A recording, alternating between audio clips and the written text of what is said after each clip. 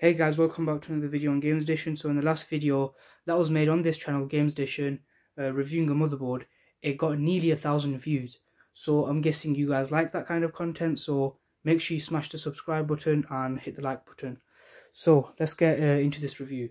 So as the other as the other motherboard that was on the channel that we um, uh, reviewed slash unboxed, uh, this is the MSI one. However, that was a MSI A320 Pro Pro Max. This is a MSI B450M A Pro Max. So to some of you, this motherboard might look familiar on the channel because the last video I made, which I'll have a link to uh, in the iCard, uh, was building a gaming PC and this motherboard is the exact motherboard that was in that build. Um, so at the moment, the motherboard is not in the box. I've actually got in a system for you guys. So there will be a part two to this video where I'll actually be using the motherboard, going through the BIOS, going through what things come with the motherboard. So I'll give you guys an example now. So this motherboard actually has something called Realtek Audio, where you can have some home cinema, you can change equalizers and uh, etc. However, we'll get onto those things in part two. So um, since we not got the since we don't have the motherboard with us right now, the next best thing is the back of the box, which gives you a lot of information. So I'll be back with you guys when we're there. Okay, so here we are at the back of the box. Let's see what things this motherboard has. So as you can see just from the image, let's get this to focus, it has a M.2 slot. So let's actually move on to the M.2 slot first since that's the first thing that I've spotted there. So it has a turbo M.2, so unlike a normal M.2 which is 10 gigabits per second, the turbo M.2 on this MSI motherboard is 32 gigabits. Let's get that to focus, there we are. Transfer beyond limitations. Now obviously this is only for this motherboard, some other motherboards might have a higher gigabit per second, but for this motherboard it's 32 uh, gigabits per second for that Turbo M.2. Now there is only one M.2 on this motherboard, but for a budget motherboard that's perfectly fine. Uh, at the end of the video I'll get into the price of this motherboard, so if you want the price just skip to the end. Or if you're a true viewer, uh, carry on watching. Right, so now it talks about the quality of the components. So as you can see here, it just says latest evolution in high quality components and then it talks about the uh, sound. Now the sound, I'm not going to be able to get in depth with it on this video. However, wait for the part 2 and that will be getting in depth with the sound, the BIOS and etc.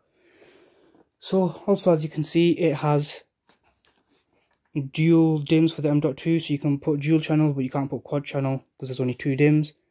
And another thing you're probably going to notice is if you're a computer enthusiast is that the power design for the CPU is only a 4 pin as you can see there.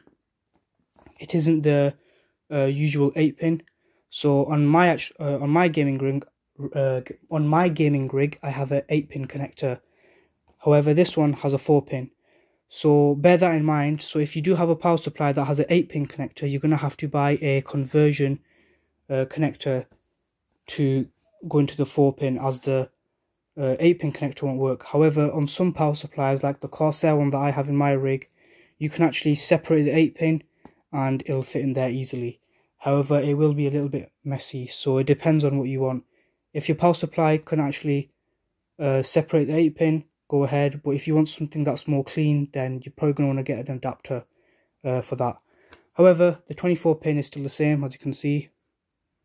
Still the same, and it it does have these two annoying brackets on the motherboard. So if you're using uh, the AMD cooler then you're gonna have to take these brackets off. However if you're using a water cooler some water coolers actually just clip onto the hooks. So there's a hook there and a hook there. Some just clip onto the hooks. However if using an air cooler I think you've got to take these off because in the gaming rig build I used the AMD stock cooler and I had to take these off these brackets for me to actually get it in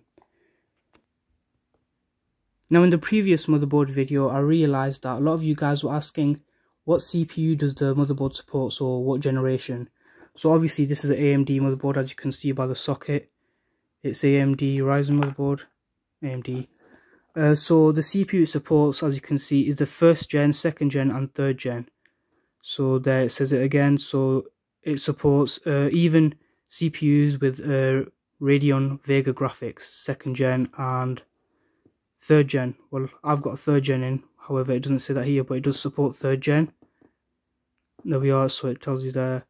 Support second gen Athlon Athlon X4 desktop process uh, processors for socket AM4 and then it tells you the chipset which is the AMD B450 chipset. And it also tells you the graphic interface. So let's talk about uh, storage. So one of the main store uh, so main storage is going to be SATA obviously because not many people can afford M.2s uh, especially high capacity ones. So you've actually got in total you got four SATA uh, four SATA spots. So you've got two here and two on the bottom. Depending on your case um, you'll have two that are probably in the right orientation for you. So if your case has better side mount uh, a better area at the bottom like my case does, the Deep Deepcool Matrix 70. I'll also have that linked in the description if you want to see the review on that case. Uh, the bottom orientation for the SATA cables would be uh, a lot better because they look a lot cleaner than the side because the spacing is uh, it's a bit too far, especially for this motherboard. Um, so now that we've talked about that, let's talk about the I/O, I/O. So if you're wondering what was that, that was that just made that sound. I have some of the motherboard uh, things in here like the CD that comes with for the drives, uh, for the drivers, and that them two plastic things and the screws.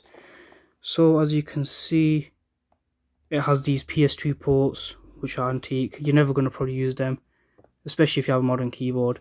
It has a DVI port, HDMI. Oh wait, it's actually this way. Let's get this focus. HDMI it has USB 3.2 Gen 1 then so it has a four set uh, four set it has a set of four USB 3.2 Gen 1s and then it has USB 2.0 here so one it has two of them. It's got an ethernet and it's got a line in line out and mic so you can uh, do that here or you can do it from the front of your case. Now the motherboard does have a 3.0 slot here so if you've got 3.0 on your front IO it should work with that. And I also think the type C connector well, the first gen of the Type-C connectors also uses this. So just double check that with your case.